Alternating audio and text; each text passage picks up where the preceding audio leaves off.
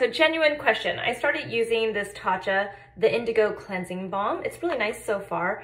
And it has this really cute little spatula that's just like, it's a little disc and it sits right there at the top. So it's really easy to keep it first off so you never lose it and just put it back. You lift off the top and you scoop it up. You just scoop a little bit up just like that and you've got it. Now the question is not about this cleansing balm.